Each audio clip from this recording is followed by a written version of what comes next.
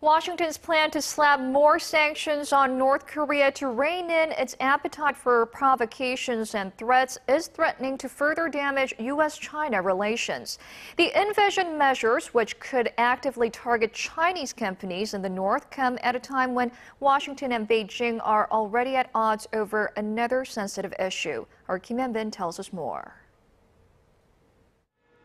The already tense relations between the U.S. and China could be exacerbated in the coming weeks and months by North Korean issues. The New York Times reported this week that Washington is weighing up whether to impose further sanctions on Pyongyang that target Chinese enterprises in the North.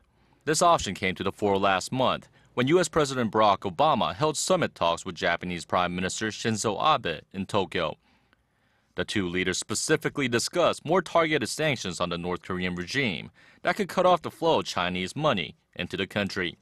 North Korea is almost completely dependent on China, its only remaining ally for trade. China accounted for nearly 90% of North Korean trade last year.